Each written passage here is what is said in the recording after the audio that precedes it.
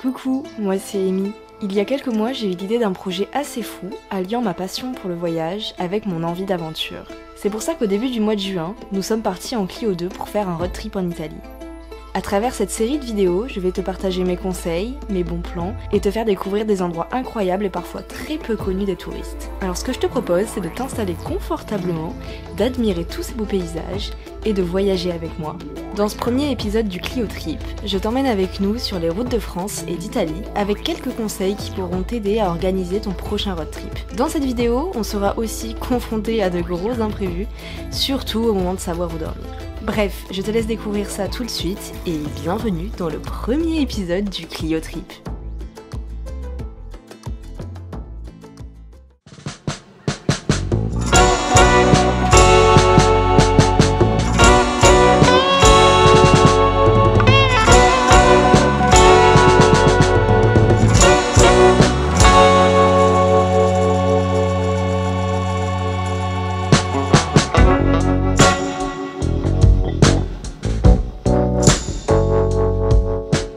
Pour ce voyage, nous sommes partis tôt de Toulouse le matin, le but étant de franchir la frontière avant la tombée de la nuit. Chose à savoir si tu découvres cette chaîne YouTube, c'est qu'on n'aime pas prendre l'autoroute et qu'on privilégie alors toujours les routes gratuites. Par conséquent, le trajet est beaucoup plus long, mais on aime vraiment ça car ça nous permet de découvrir de très jolies villes et villages et surtout de très beaux paysages. Ça y est, nous sommes arrivés en Italie Je suis trop contente, on vient d'arriver il y a une demi-heure, trois quarts d'heure. L'emmener ce soir vraiment à la frontière, dans un petit camping, juste vraiment au premier village, je crois que ça se dit Laté, si je me trompe pas. Et donc c'est un tout petit camping, super sympa, euh, en tout cas le personnel est vraiment super... Euh, très très bavard mais très très accueillant. Et euh, puis on va passer notre première nuit ici. Alors si on s'est arrêté à la frontière c'est tout simplement parce qu'on a fait plus de 10 heures de route et qu'on est crevé. D'ailleurs je remercie Lucas qui a vraiment conduit tout le long et j'avoue que moi sur euh, les dernières heures j'étais vraiment très fatiguée, un peu sur les nerfs et vraiment il me tardait d'arriver. C'est pour ça ne jugez pas ma dégaine qui est euh, juste faite pour être super à l'aise. On est dans un petit camping pour éviter de, reprendre la route. On avait vraiment envie de se poser. Il fallait qu'on monte la tente, gonfler le matelas, se faire à manger et se doucher aussi accessoirement. Donc on est ici pour une quinzaine de jours environ. On n'a pas vraiment prévu, euh, on n'a pas vraiment prévu de planning. Ça va vraiment être au feeling, mais on a quand même spotter des endroits où aller. Je vais pas tout vous dire parce qu'il y aura plusieurs épisodes de cette série donc n'hésitez pas si vous découvrez ma chaîne YouTube à vous abonner. On va quand même visiter la capitale Rome et ensuite on va visiter d'autres petites villes hyper intéressantes mais aussi des endroits peu connus en Italie. Enfin j'espère vraiment pouvoir dénicher et tomber sur des choses, sur des villes, des endroits très très peu connus et vous donner envie d'y aller et vous faire découvrir euh, des choses qu'on n'a pas l'habitude de voir sur les réseaux sociaux et YouTube.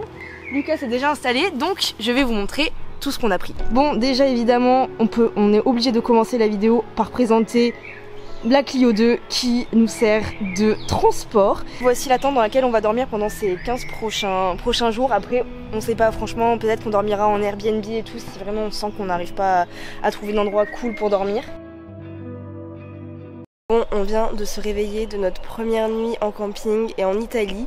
On a plutôt bien dormi donc c'est vraiment cool, le matelas est confortable, la tente est étanche et ça c'est vraiment cool et on a pu la tester du coup parce qu'il est un petit peu plus là vers euh, 5-6 heures du matin jusqu'à 9 h Je vais vous donner un petit peu euh, toutes nos, astuces, etc. au fil de cette vidéo. Et euh, comme ça, peut-être que ça pourra vous aider aussi. L'une des choses les plus importantes à anticiper chaque jour lors de votre road trip, c'est l'eau. Pour ça, on a prévu deux jerrycans de 10 litres chacun, afin d'avoir assez d'eau pour toute la journée. Cette eau, on l'utilise pour la douche, pour la cuisine, mais surtout pour rester hydraté toute la journée. Mais j'avoue qu'au début, on a eu vraiment du mal à trouver de l'eau et à s'hydrater correctement. Mais il faut savoir qu'en Italie, l'eau est toujours potable, même dans les fontaines des villes, sauf si c'est spécifié qu'elle est non potable évidemment. Du coup, dès qu'on allait dans un endroit public, on emmenait nos gourdes pour les remplir.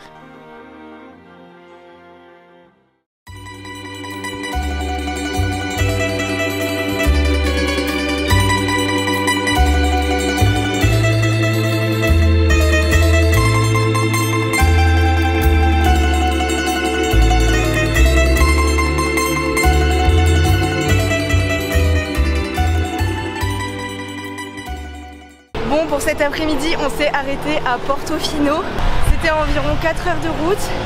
On a allongé la mer, mais j'avoue qu'on a pris un petit peu l'autoroute tout à l'heure parce que sinon ça allait être vraiment très très long et on en avait un peu marre de conduire.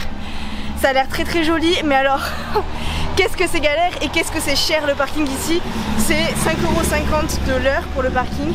Je suis trop contente d'être ici parce que ça a l'air trop trop beau.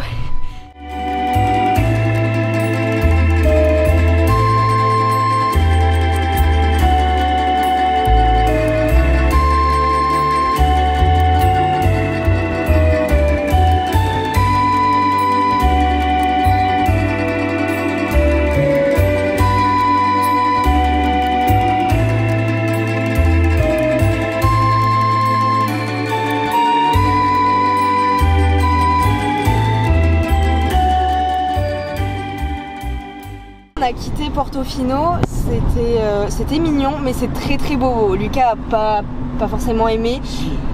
Mais c'est l'ambiance. Bien aimé, oui. C'est bien, oui, t'as bien aimé, c'est joli, mais c'est l'ambiance qu'on a trouvé un peu, euh, bon, très bobo. Nous, c'est pas forcément ce qu'on recherche quand on va en vacances, mais franchement, c'est très très mignon et je suis contente quand même d'y avoir été parce que c'est quand même très beau. L'eau est super claire. Comme vous pouvez le voir en Italie, il y a beaucoup de scooters, mais alors vraiment, c'est quelque chose. C'est pas un mythe, il y a vraiment des scooters partout et ils foncent. Ils roulent n'importe comment. Et en général, les Italiens ne roulent pas forcément très bien non plus. Mais bref, c'est pas le sujet. Du coup, là, on a décidé de repartir bah, direction le sud, Et donc, on a un petit peu moins de deux heures pour arriver au premier village des 5 terres qui est Monterosso. Et puis, on va dormir là-bas ce soir. On a regardé la météo pour éviter de se retaper de la pluie. Et ce soir, il fait super beau. Il n'y a pas de pluie prévue. Demain, pareil, il fait 23 degrés et très grand soleil. Du coup, ça va être trop cool pour faire les 5 terres. Du coup, demain, je pense que ça va être une petite journée euh, rando. Mais je pense que ça, vous le verrez dans le prochain épisode.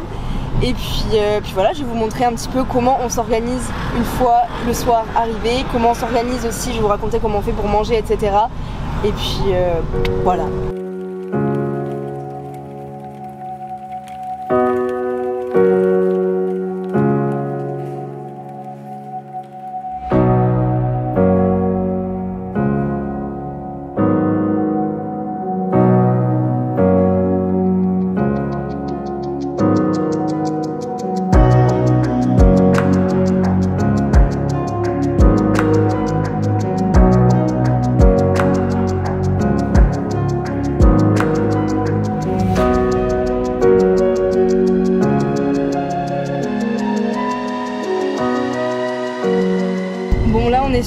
D'arriver au free camp de ce soir qu'on a trouvé grâce à l'application Mapster et euh, parce qu'on suit quelqu'un, on suit Greg Zoe, je sais pas si vous connaissez, mais qui vit en van, qui fait de la van life, etc. Et on adore le suivre. Et il met souvent euh, ses spots, enfin il met tous ses spots là où il va, etc. en van euh, sur l'application Mapster. Je sais pas si vous connaissez, mais c'est trop cool.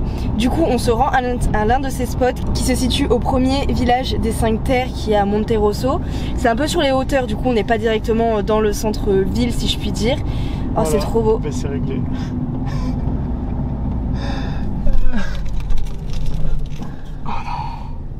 Oh non, non, non, non, non, non, non. Oh non, non, non, non, non, non, non, non. Là, c'est un défait d'Albert. Là, ça craint. Bah là, je sais pas comment on fait. Donc là, concrètement, je ne sais pas où est-ce qu'on va dormir. Bah, soit on trouve un autre truc, soit euh, camping. Faut qu'on se pose quelque part. Qu'on s'arrête quelque part pour... euh, tiens, arrête, arrête-toi là. Qu'on regarde un petit peu où est-ce qu'on va pouvoir dormir. Super. Ce trip est plein de rebondissements. C'est vraiment hyper dommage parce qu'il y avait euh, un emplacement vue sur mer incroyable. Bon, on l'a trouvé un autre spot. Bon, on va voir. J'espère, on croise les doigts pour qu'il soit bon cette fois-ci. Et euh, normalement, il à combien là 8 minutes?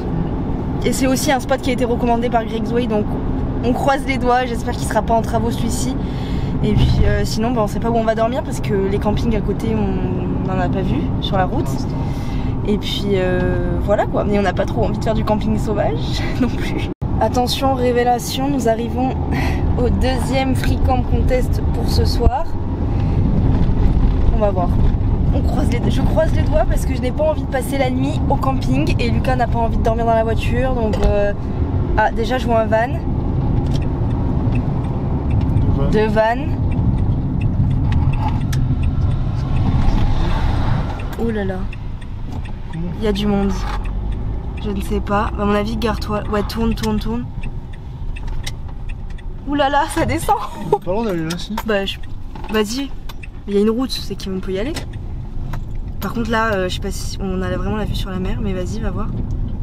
Le frein, ils vont lâcher, wesh. Il y a une piscine. C'est vraiment là en bas, là Je sais pas. Mais là, euh, vous imaginez pas le chemin qu'on est en train de prendre. là. C'est quelque chose. Oh, le parabrise est super sale, mais. Oh, oh là là. Ah oui, d'accord. Ça y est, on a trouvé notre free camp. Trop contente. Bon, par contre, euh, on va réfléchir à exactement où est-ce qu'on met euh, le- la tente, où est-ce qu'on plante la tente et le matelas. Parce que vu qu'il y a plein de petits cailloux, je sais pas si ça se voit euh, là derrière, on n'a pas envie non plus que le matelas se perce au bout de la deuxième nuit. Mais heureusement qu'on avait prévu des tapis. Donc ça pareil, si vous voulez voyager euh, en tente, etc., faire un peu comme nous dans ce style-là. Et si vous voulez camper, pas seulement dans des campings, mais aussi dans des, euh, dans des free, camps comme on fait là, euh, prévoyez peut-être des tapis de sol. Alors moi j'ai pris personnellement mon tapis de yoga et Lucas a pris son tapis de sport. Je pense que ça fera l'affaire. Enfin, je croise les doigts, j'espère que ça va pas... ça va pas les percer. En tout cas, je suis trop contente. On a la vue vraiment sur la mer, je vais vous montrer après. Ça nous rassure parce qu'il y a quand même pas mal de vanlifers à côté de nous, euh, notamment des Belges, des Belges. Et d'ailleurs, il a été super sympa. Je suis trop contente parce qu'on est vraiment. euh, je trouve que la localisation est trop bien. Bon, après, par contre, l'autre spot, le premier spot, normalement, je pense qu'il aurait été quand même mieux puisque on aurait été à 25 minutes de marche du premier village des 5 terres. Mais bon, c'est pas grave. On a trouvé un free camp et c'est trop cool. Je suis trop contente. Enfin, on est trop content. Faudra juste qu'on plante la tente, s'installer, manger et euh, profiter du coucher de soleil parce que je pense que ça va être vraiment, vraiment incroyable. Bon, au niveau de la bouffe, comment on fait pour cuisiner et comment vous pourrez faire aussi pour cuisiner? Tout simplement, on a acheté un réchaud chez Action. C'était vraiment pas cher, mais il y en a aussi beaucoup chez Decathlon. Vous pouvez en trouver aussi partout sur internet. Et on a pris ça, je sais plus combien on a payé. On a payé vraiment 6 euros. ouais 6 euros dans ces eaux là et on a acheté plusieurs euh, cartouches parce que on s'est dit que bon on en avait besoin enfin on sait pas combien de temps ça va durer du coup on en a pris 4 et pareil ça a coûté euh, un peu plus d'un euro donc ça va et hier on a fait cuire du coup on a fait bouillir de l'eau plus cuire nos ravioles avec et franchement ça va pas bronché honnêtement ça va pas bronché euh, et puis on avait un peu peur, on savait pas trop comment s'en servir, on s'en était jamais vraiment servi. Et au final c'était plutôt simple. Et du coup bah, ce soir on a prévu. on a prévu à manger, on a fait des courses tout à l'heure, on a prévu ça. Pour les prochains jours, on va essayer de tourner autour d'environ 10 euros, je pense, pour une journée au niveau de la bouffe, que ce soit matin, midi et soir, et même un peu pour le goûter au final, parce qu'on a acheté un gros gâteau et euh, ça nous a fait le goûter aussi. Crois qu'on fait des verres en plastique.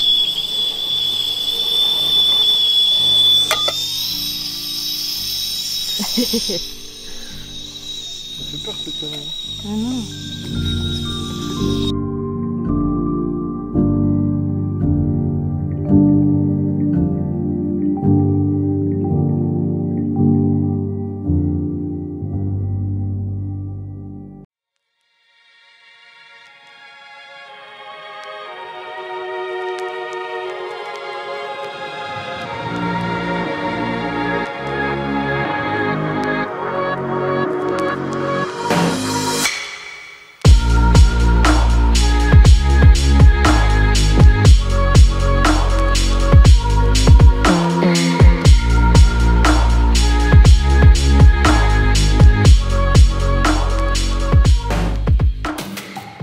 Ensuite, ce que vous vous demandez peut-être aussi, et peut-être potentiellement ce qui vous fait peur à l'idée de partir euh, comme ça à l'aventure, sans logement, sans Airbnb, sans hôtel, etc., c'est peut-être l'électricité et comment recharger par exemple la caméra, vos appareils photo, vos téléphones, vos ordis si vous en prenez parce que bah, perso j'ai pris mon Mac, euh, je ne sais pas pourquoi d'ailleurs mais je l'ai pris au cas où. On a acheté une batterie externe hyper bien. C'est une Xiaomi qu'on a payé je pense une trentaine d'euros et honnêtement ça vaut grave le coup. Bon par contre elle met 14 heures, entre 12 et 14 heures à se recharger pleinement mais elle permet de recharger 7 fois une batterie de téléphone entièrement.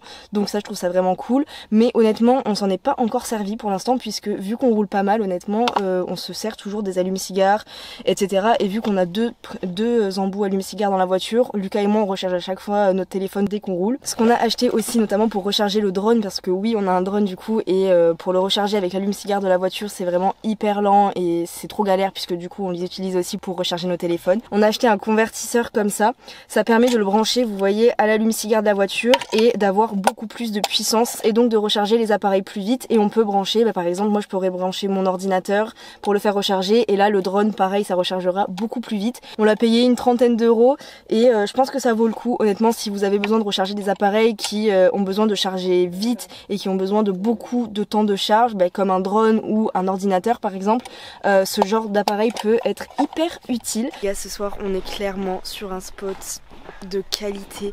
Vraiment le coucher du soleil est incroyable, c'est hyper paisible, c'est hyper paisible. Et euh, on n'est pas tout seul donc c'est aussi hyper rassurant. Je suis trop contente, mais là vraiment le coucher du soleil est incroyable. On a vu sur les falaises en face et puis euh, sur la Méditerranée avec des couleurs un peu rosées. Incroyable, je suis trop contente du spot euh, d'aujourd'hui. Au final, comme quoi, la leçon que j'en retiens, c'est que ok, peut-être que la vie nous a dit que nous a mis une petite embûche, vous voyez, en mode bah non, vous allez pas aller au premier spot que vous avez vu, vous allez devoir en chercher un autre. On en a cherché un autre, on en a trouvé un autre et franchement, il est incroyable.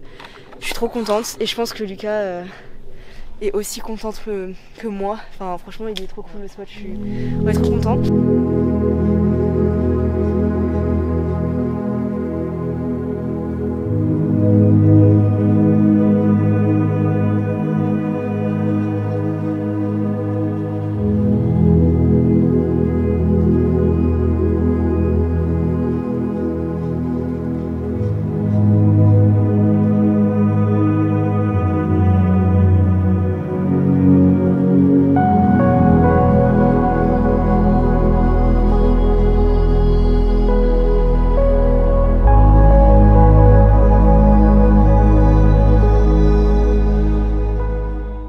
Je me rends compte d'une chose, c'est que j'ai oublié de vous montrer comment on se douchait. En fait, on avait une cabine de douche comme celle-ci pour l'intimité.